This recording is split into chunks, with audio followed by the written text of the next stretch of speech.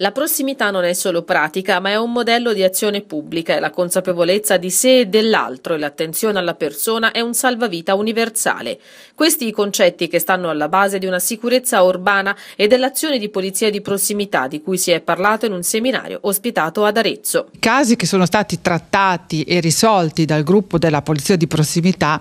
è veramente rilevante. Si va da situazioni legate più al disagio sociale oppure al degrado urbano eh, o a fatti di inciviltà, una pluralità di situazioni in cui lo strumento tradizionale di lavoro della polizia municipale, che era quello della sanzione, non è stato applicato, ma si è cercato di arrivare ad una composizione del conflitto, ad una risoluzione dei problemi, attivando una pluralità di soggetti e in particolare partendo proprio dai cittadini.